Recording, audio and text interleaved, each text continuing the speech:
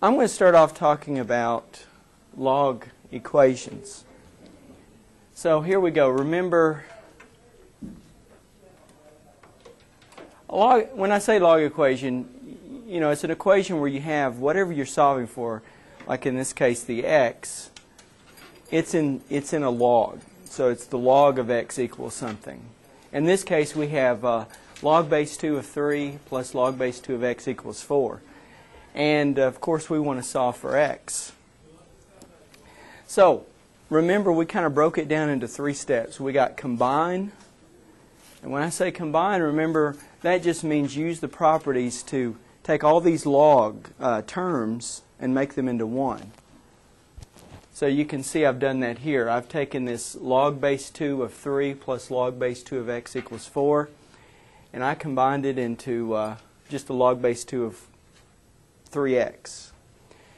Now, after you do your combining, you convert.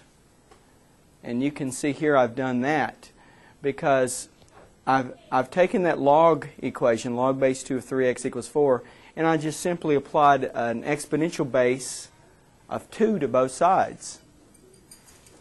Now when I did that, of course, the left-hand side, the log base 2, when I applied an exponent base 2, the log base 2 and you know the base, the exponential base 2, they sort of canceled each other out because they're inverses. So all you get on the left-hand side is 3x, and all you get on the and what you get on the right-hand side is 2 to the fourth.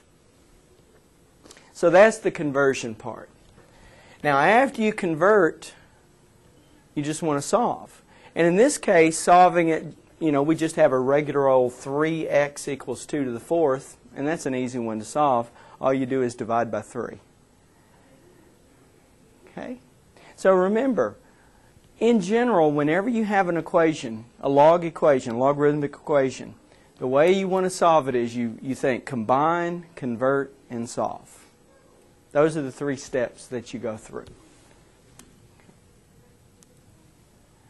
Okay? Now, let's look at an example here. And of course, um, let's see. Let me see if I can change pin color. Okay. Now, so uh, for example, this one, we want to combine, convert, and solve. So you notice here what we have is we have the, the conversion or the combining part first. We have log base 2 of x times x minus 1. Okay? So we used our properties of logs, combined log base 2x with log base 2x minus 1. Now the next thing we do is convert.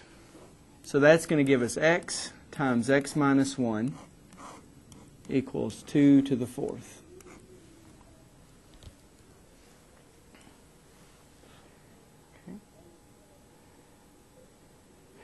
Now, the next step is to go ahead and solve this. So we combined, we convert it, now we have to solve. And of course, this is a quadratic equation. So to solve this quadratic equation, I need to get everything on one side, clear my parentheses, and combine like terms, and then solve it. Yes, Chad? I don't understand that convert step. I don't get what you do. Well, so to convert, remember what you're actually doing is you've got uh, a log base 2 on this side. And the conversion, really what we're doing is we're applying a base 2 to both sides.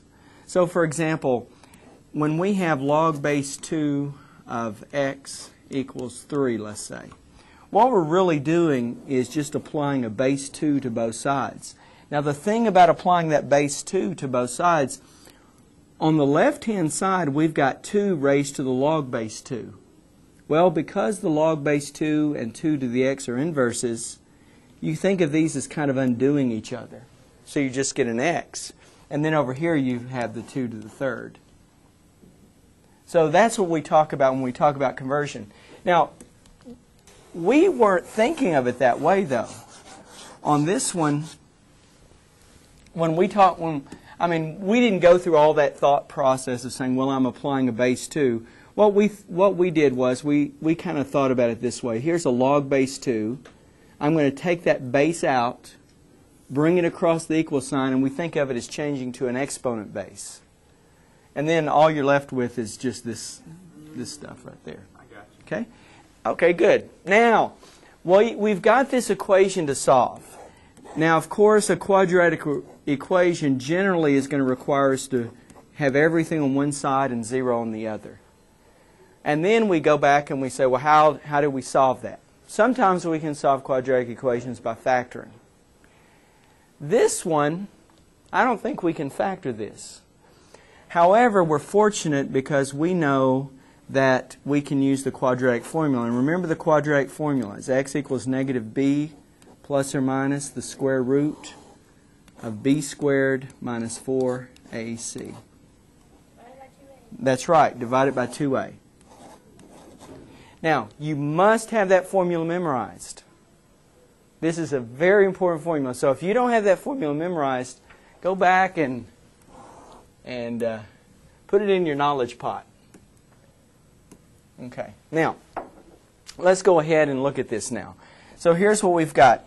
In our particular case, we've got that A is equal to 1, B is equal to negative 1, and of course C is equal to negative 16.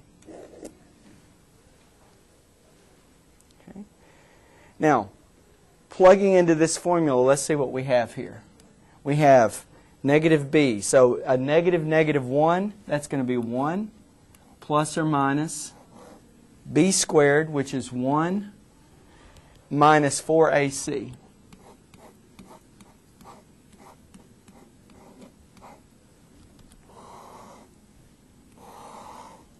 All over 2 times 1. Okay, any questions about that? Now, what that gives us is this. We have 1 plus or minus the square root of 1 plus, what is 4 times 16? Um, 64. 64? Okay. And of course, this is going to be 1 plus or minus the square root of 65 all over 2. Now, so that's what the that's the solution to this equation right here.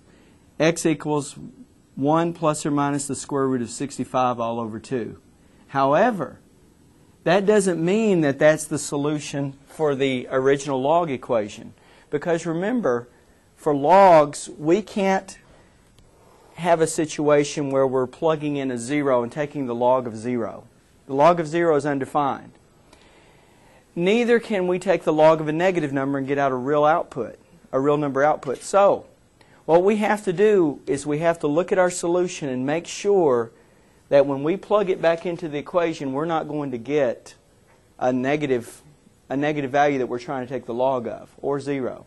So, if you look at this, now look, this is the square root of 65. That's approximately 8, right? 8 squared is 64. So six, square root of 65 is just a little bit bigger than 8. So if we look at this, if we look at 1 plus the square root of 65, is there anything that's going to keep that from working up here? No, that works. See, log base 2 of this value right here is fine, of course.